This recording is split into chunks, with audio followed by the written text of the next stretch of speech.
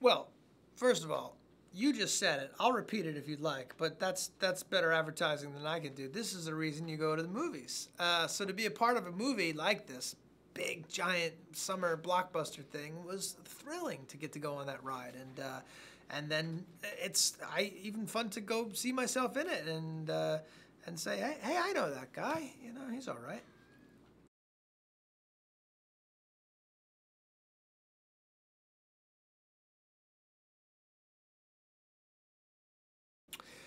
Well, I, have been asked this a lot, and the, it's great to be able to answer that very little of it was green screen. I mean, clearly he didn't build a 700 foot tall robot, but um, uh, he built like the helmet. he built these giant things, and anytime I was in a scene, whether I was running through the streets of Hong Kong or uh, in an underground bunker, he built it all. You know, there's a scene where I'm cowering from these things and I'm, I'm in this bunker and the roof was actually shaking. They were shaking the roof and dust was coming down. And I'm crammed together with 500 screaming, crying people. And it felt very real. And, uh, but also the sets were exquisite and beautiful. You would step on the set and, and you were in a work of art. I stole as many pictures and took as many videos as I could. And, um, and uh, I'll sell them all online. So.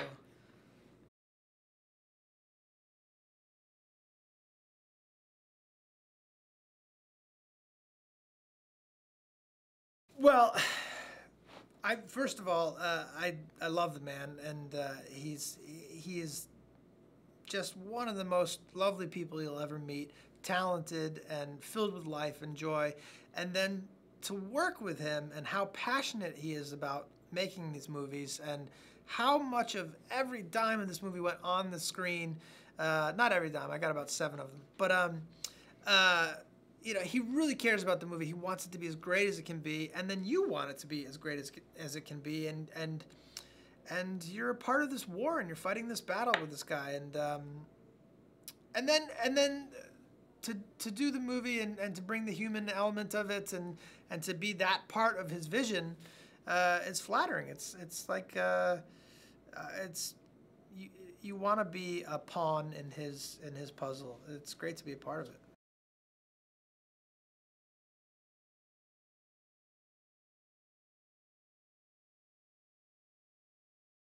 You know, he did, which he said he, he doesn't normally do. He let me riff around a little bit and, and try to discover some human, uh, funny, kind of quirky moments. But then there were other times where he was very disciplined with, like, uh, physically where my hands were or any any any kind of thing he saw in his mind from an artistic standpoint, and we would do that. And he's a great collaborator. It was really, or at least he was with me, uh, and uh, it was it was it was fun to work that way. I said pawn in a puzzle, but I don't think there are pawns in puzzles. I'll I'll go on the record saying I screwed that one up.